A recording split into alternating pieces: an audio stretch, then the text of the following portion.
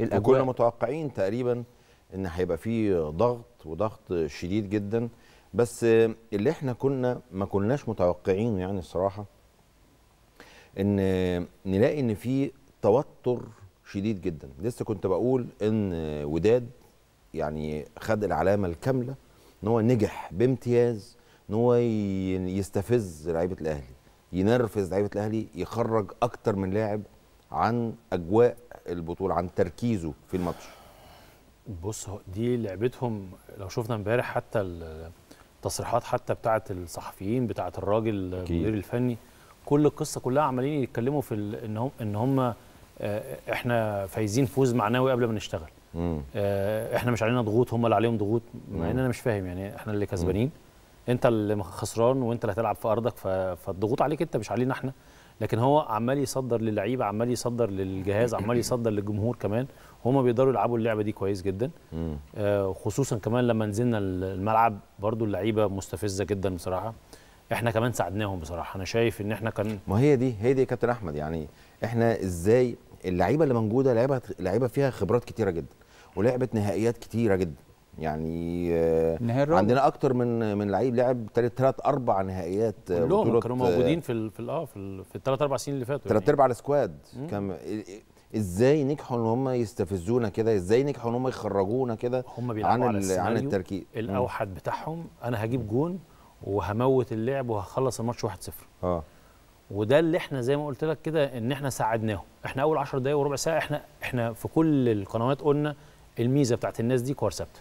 لو مم. سمحت قلل الكورنر اللي عليك قلل الفاول اللي عليك أربع كرات في نفس copy بس إحنا فاول أيوة، هنا وفاول هنا المكان. وفاول في هنا نفس وفاول هنا المكان. بس على فكرة. كابتن يمكن الفاول ده الوحيد يعني الوحيد اللي ما أنا فيهوش أي حاجة نفس أنا اللعبة. معاك إن آه. الحكم كمان بصراحة كان مزودها ولكن إحنا برضو مساعدين الحكم إن هو يحسب حاجات يعني في حاجات يعني بتاعت في واحدة بتاعت علي معلول ما تنزلش على الأرض يعني كمل جري مع الراجل في. حاجات كده كانت سهلة جدا إن إحنا نعديها. ولكن أنا شايف إن إحنا حطيناهم في الحتة دي. يحيى ده بيعمل الكروس هايل. مم. وبعدين حتى الوقفه الجون اللي دخل فينا آه، واضح جدا إن في توتر. واضح جدا إحنا لما بنشغل ال ال ال ال يعني بنعمل زون بنشتغل على الحتة الدفاعية دي يا إيهاب، بننزل بننزل اللعيبة بظهرهم للجول على فكرة. ده ده بس حي من غرفة خلع الملابس النادي الأهلي واحتفالات بقى طبعاً. ما بعد البطولة. يعني صراحة الرجاله النهارده تعبوا. وكان عليهم جدا. يعني في ناس في الملعب تعبوا جدا آه، جدا. طبعا. يعني كانوا كان عليهم. مسؤولية وكان عليهم ضغط رهيب جدا جدا جدا. آه، من ال- من الجماهير من الأجواء بشكل عام بس. أنا بقول آه، وما زلت يعني بأؤكد إن هم كانوا 11 لعيب أو آه، كل ال squad بتاع النادي. الأهلي سواء. جوه الملعب على دكة البدلاء كلهم رجالة كنت بتكلم آه، كابتن إيهاب على موضوع ال- الجون بتاعهم آه، ال- اللي جه هو كربون نسخة كربونية من آه، يعني قبل ما ما يدخل الجون كان في كان في كورتين بالظبط هو. التال هو الثالثه بالظبط. آه. هي كانت من نفس المكان يمكن آه. الكورة اللي كابتن أحمد بيتكلم عليها الأولى كانت لعلي معلول كان برضو باص آه، ايزي باص جدا آه، كان ممكن يرجعها لعبد المنعم عبد المنعم يشيل واحدة اتأخر راح آه، نزل على الأرض بعديها على طول برضو نفس الكلام حمدي فتحي ونزل على الأرض برضو فحصلت ال- الفاول بنفس الكلام. بعد كده الفاول اللي هو الوحيد بقى اللي هو مش فاول فعلا بتاعت علي معلول دي أنا شايف اللي هي ما كانش فيها أي حاجة على أولاد. لكن برضو التصرف هي واضح زي ما كابتن أحمد بيتكلم وكل الناس بتتكلم وإحنا اتكلمنا إن الميزة اللي عند فرقة الوداد الكور الثابتة اللي ليهم بيأدوها بشكل كويس جدا. وهو فعلا يحيى عطية الله بيعملها مميزه بشكل كبير جدا جدا جدا. امنع هو بقى. هو هو اتحسبت لاوناجم وناجم آه آه. وناجم وهو أستاذ ولعبته. بيعرف ياخد الفاولات أو حريف في الحاجات دي. لكن هي ما كانش فيها اي حاجة لكن لازم في الكورة إحنا بن- بننبه والمدير الفني أكيد بينبه. يا جماعة ما نعملش فاولات كتير على على حدود ال 18 ما ما تدخلش الوداد في اللقاء لأن الوداد ما ضيعش فرصة أنا لسه كنت النهارده. هقول في مدراء فنيين بيعتبروا المنطقة دي منطقة محرمة. ما ينفعش تعمل فيها فاولات بأي حال من إحنا الأحوال. لو لو هنسترجع شريط الماتش ال- ال- الوداد ما ضيعش فرصة. هي كل خطورته كانت من الكور الثابتة. لكن فرصة حقيقية من جملة لل- للوداد أو الشناوي شال واحدة صعبة أو في كورة جنب ما كانش. فيه.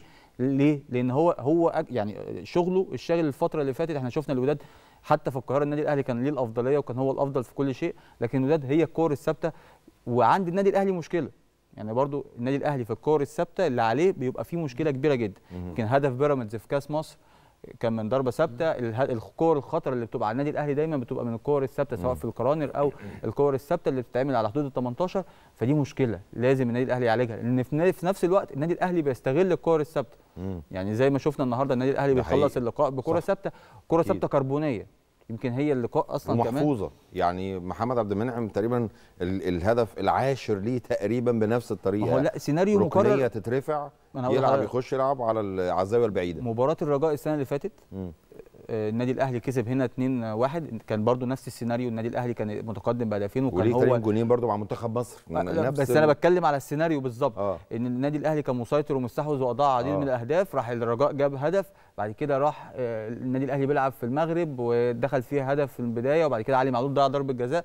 بعد كده يرجع محمد عبد المنعم بنفس السيناريو النهارده. فإذا أنت عندك ميزة بتشتغل عليها لكن في الحالة الدفاعية لا في مشاكل في ال- في النقطة دي عند النادي الأهلي. ولازم آه، مستر كولر يشتغل عليها الفترة الجاية لأن